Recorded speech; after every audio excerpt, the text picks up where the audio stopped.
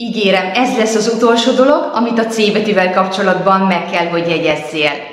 Nézzük, hogyan ejted ki azokat a szavakat, amelyekben van, és magyarul betűzök, C-I-A, C-I-O vagy C-I-U betűcsoport.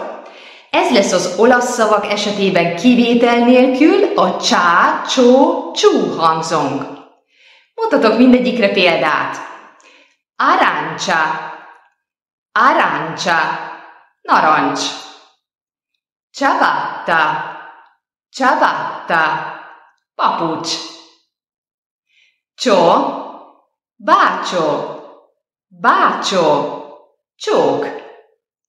Calcio, calcio, foci. Ciù, acciuga, acciuga, sordello. Fanciullo, fanciullo, gyerek. Itt tanult meg őket.